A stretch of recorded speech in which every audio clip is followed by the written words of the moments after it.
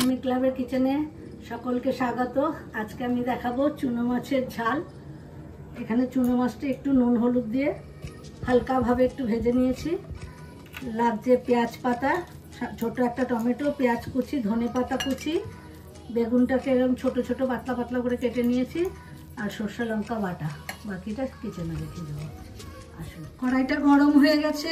আমি একটু তেল দিয়ে দিলাম চার চামচের মতো। এখন আমি বেগুনটাকে একটু হলুদ নুন মাখিয়ে হালকা ভেজে তুলে নেব। তারপরে পরপর দেখাচ্ছি। হয়ে গেছে, আমি বেগুনগুলো ছেড়ে দিচ্ছি।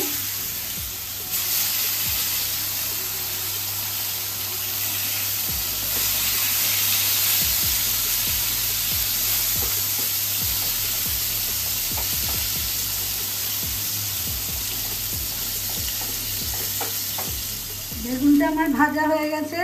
আস্তে আস্তে এখন আমি এগুলোকে তুলে নিচ্ছি।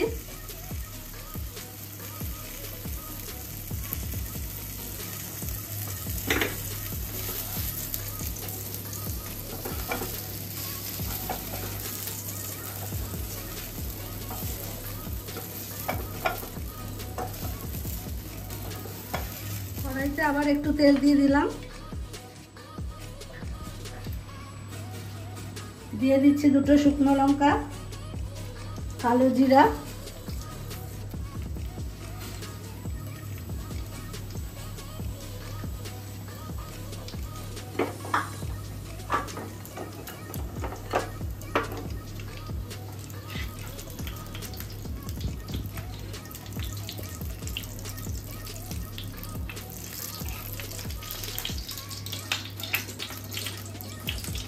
লঙ্কাটা ভাজা হয়ে গেছে, এখন আমি পেঁয়াজটা ছেড়ে দিচ্ছি।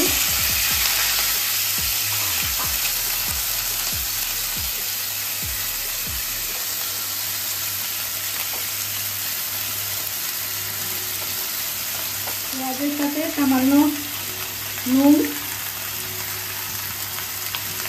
একটু হলুদ দিয়ে দিচ্ছি।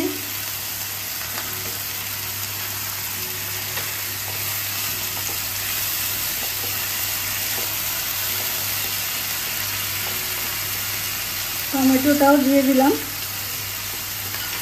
দিয়ে একটু দু মিনিট ঢাকা দিয়ে দিচ্ছি পেঁয়াজটা একটু মজে যাওয়ার জন্য। এক মিনিট হয়ে গেছে, এখন আমি এর মধ্যে দিয়ে দিচ্ছি সামান্য একটুখানি চিনি,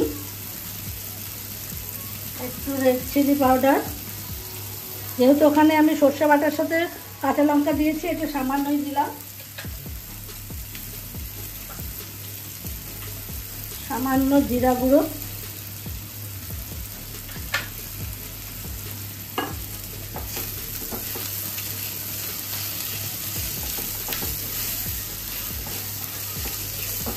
এখন আমি পেঁয়াজ পাতাটা দিয়ে দিচ্ছি।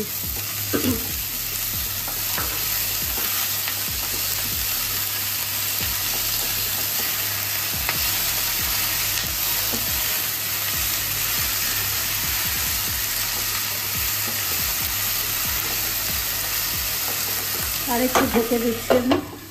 এখন আমি সর্ষে বাটাটা মিশিয়ে দিচ্ছি।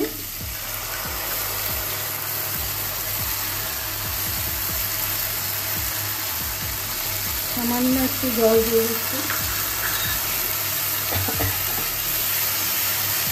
মিশিয়ে দিচ্ছি চুনো মাছটা।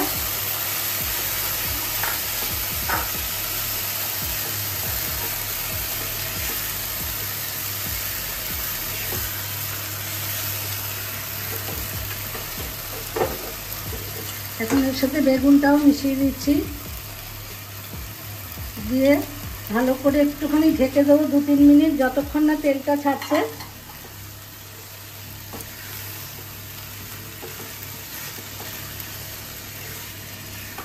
তারপর ধনে পাতা দিয়ে নামিয়ে নেব।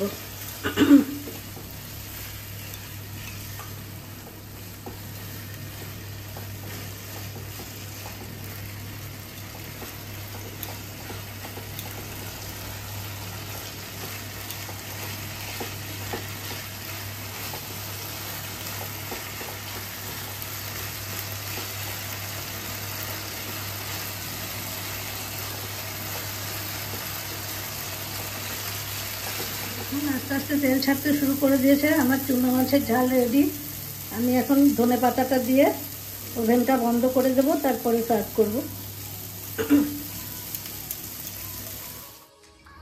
বন্ধুরা, আমার চুনো মাছের ঝাল রেডি এটা গরম ভাতের সাথে খুব ভালো লাগবে খেতে। আমার রেসিপিটা দেখে চটপট বাড়িতে বানিয়ে ফেলুন। কেমন লাগল খেয়ে জানান। ভালো লাগলে আমাকে লাইক শেয়ার সাবস্ক্রাইব করুন। সকলে সুস্থ থাকুন, ভালো থাকুন। এবং আমার পাশে থাকুন।